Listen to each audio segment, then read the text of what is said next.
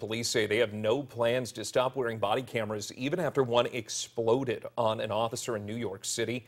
This is a picture taken the second that camera blew up.